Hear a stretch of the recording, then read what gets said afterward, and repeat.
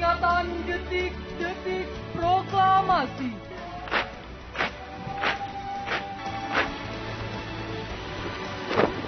Yuk! Bro,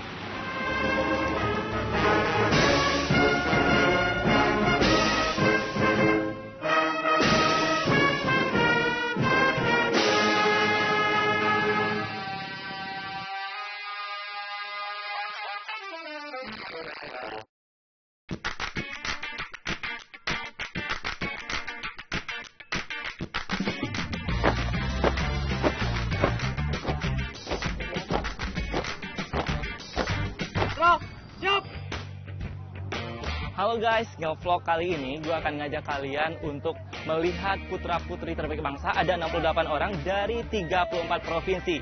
Mereka berlatih dan memantapkan gerakannya untuk persiapan HUT RI ke-71 di Istana Merdeka nanti. Mari kita lihat aktivitasnya.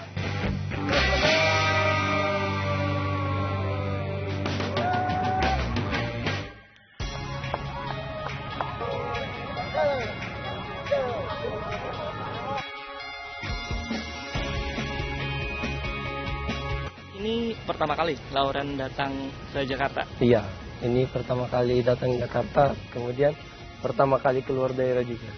Dari keluarga tentunya mereka sangat senang sekali ya. Bapak saya ojek, ayah ojek biasanya antar sekolah, antar saya ke sekolah dulu dari jam 8 pagi sampai jam 7 malam.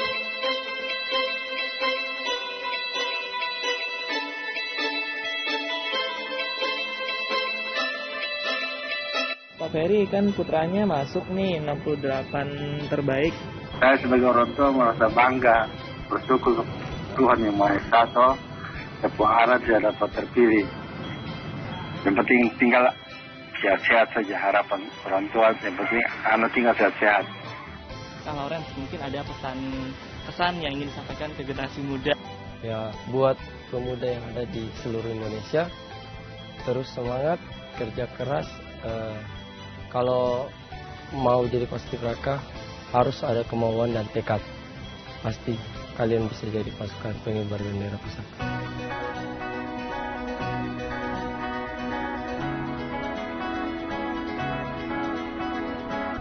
Nah, Pep, jauh-jauh nih dari Gorontalo. Apa sih yang memotivasi Feby eh, untuk bisa sampai ke nasional ini? Saya ingin mengangkat derajat mama dan papa saya karena mau karena mama saya cuma ibu rumah tangga dan bapak saya cuma kerja di bengkelnya orang. Jadi saya ingin mem- mem- membanggakan nama baik orang tua saya dan juga saya ingin membanggakan keluarga saya. Tidak, menjadi masalah karena di sini juga bukan anak-anak anak-anak bangsawan yang bisa masuk di sini tapi juga eh, anak-anak yang yang mampu lah bukan secara fisiknya eh bukan secara siapa di anak dia anaknya siapa di pejabat mana yang penting dia punya fisik dan moral yang kuat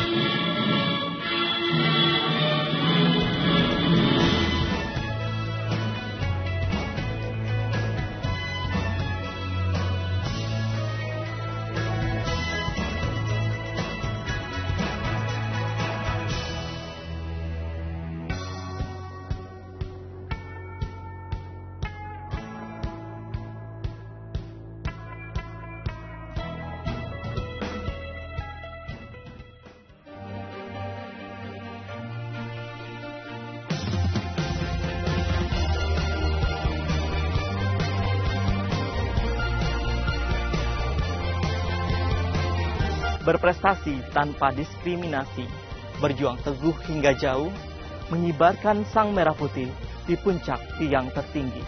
Inilah putra-putri terbaik bangsa, pasukan pengibar bendera pusaka.